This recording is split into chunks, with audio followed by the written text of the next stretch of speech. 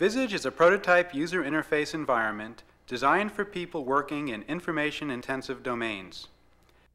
It combines the web's data navigation interface, developed at Maya Design Group, and the SAGE Intelligent Visualization Project at Carnegie Mellon University. The Visage environment has four main components. A unique drill down and roll up data navigation technique, the information-centric drag and drop user interface paradigm, intelligent visualization tools that automatically create new graphics, and briefing features for highly interactive presentations.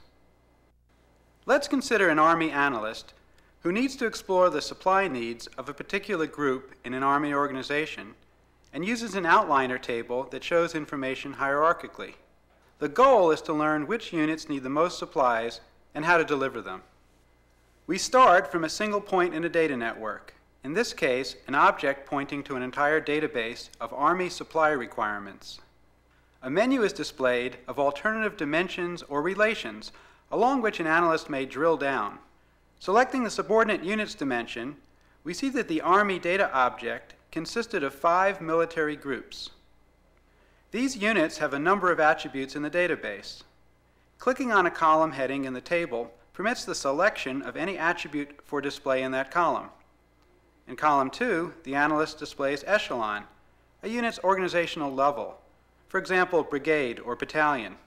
Other columns show the total tons of supplies units require and the number of people in them. Returning to the outline, the analyst drills down further in the hierarchy to additional subordinate units. The cell entries for the attributes are automatically displayed. This drill down navigation process can also occur across different relations.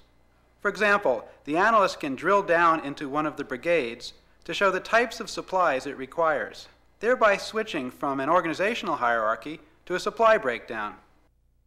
Having focused on the units within the 22nd Army Division, the analyst must find those that need the most supplies by displaying these concepts graphically. The selected units are dragged to a display that shows its data objects as bars, in this case, showing the total weight of all supplies each unit needs. Again, in the information-centric approach, data objects are directly moved in groups or individually across application interfaces.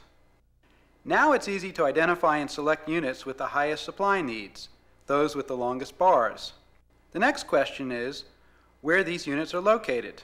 So they are dragged to a map and shown as military icons. The map display was developed independently by BB&N, but is coordinated with all other displays.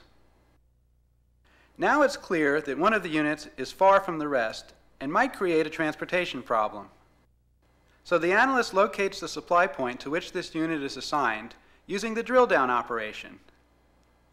The supply point's distance is indeed a problem. Now the analyst must see if it is feasible to relocate the supply point closer and drills down to all the other units it must serve. To estimate the total weight of supplies needed by these units, they are dragged to the table. In addition to drill down navigation, it is also possible to roll up or aggregate groups of concepts.